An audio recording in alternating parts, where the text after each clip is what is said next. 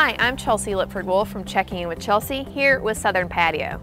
I love container gardening, but potted plants can dry out quickly and adequate watering is always a concern.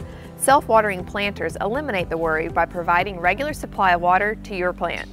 Self-watering planters include a built-in tray or reservoir that holds water. Roots access the water from this tray as needed. These systems are efficient because water in the tray stays out of sunlight and evaporates less easily. Self-watering pots also help lessen the amount of water on your plant's leaves, which can lead to rot.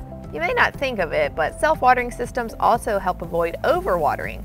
The roots don't actually sit in the water, but access water from the reservoir as needed. You still have to water plants in self-watering pots, just less often. This is a huge help if you travel frequently or just have a busy schedule that makes it hard to water your plants on a regular basis. I also like to use self-watering containers for plants in hard to reach areas. The less I have to squeeze in tight spaces to water, the better. As with regular pots, self-watering containers come in a wide variety of shapes, sizes, and colors. Container gardening is a great way to bring natural beauty to your space, and self-watering planters make it even easier.